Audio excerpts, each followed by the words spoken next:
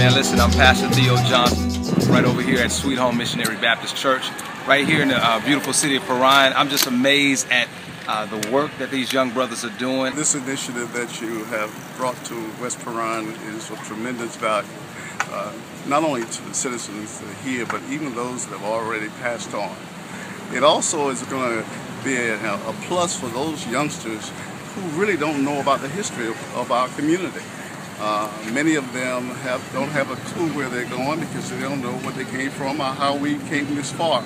I believe this is an inspiration for the community and this can serve as a catalyst for our young black men, young black women to do something positive.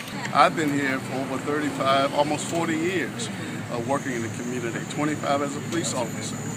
I've adopted this corner and, and, and I'm very, very passionate to help those that are in need.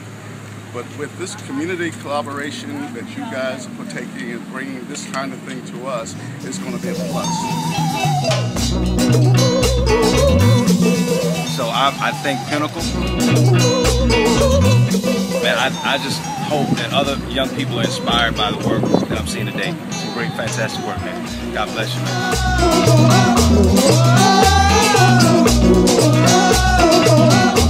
MLK Mural.